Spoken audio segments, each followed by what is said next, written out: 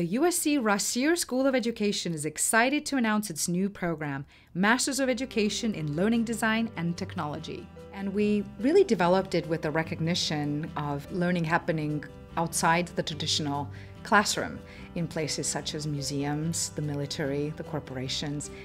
Learning happens in many non formal and informal learning environments, and there's an increasing recognition of this type of learning. So this program is a 21-month online program um, where students will actually engage in learning research-based principles to support learning in a variety of formal, non-formal, and informal learning environments. The Masters of Learning Design and Technology will prepare its graduates to be effective educators in all learning situations. Here in the heart of urban Los Angeles, designers of informal learning environments are applying the principles of this program with a particular focus on the importance of technology in learning. In informal learning, technology plays a huge role. It's important to use appropriate technologies as a tool to enhance the content, to help bring it to life, and to be able to find ways to illustrate that content in meaningful and memorable ways. Well, learning is taking place where people are and where they aren't, within institutions and between institutions. So how do you structure that space, that ability to be able to have people learn wherever they need to be or end up being? We want our students to know that, know how media and technology integrate to facilitate that, and to use that as part of their instructional design strategy. We will be tapping into USC-wide expertise in learning and motivation, instructional design, uh, communication, gaming, uh, cinematography. We have fantastic people here who will be contributing to this program. This is a tremendous growth area in the next five years. We're going to see growth rates of up to 22% just in the field of education when it comes to learning design and technology.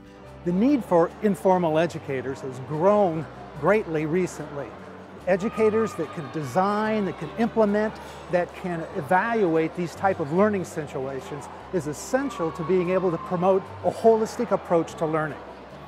The Institute for Creative Technologies is focused on uh, the future of immersive environments, particularly for learning and for training. We are already employing people who've come through Rossier and understand this process and have actually developed this process that we have at ICT.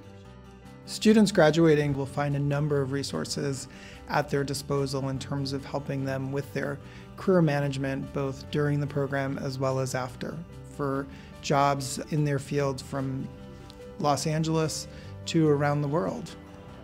I'm excited to see what the students coming out of this program bring to the world.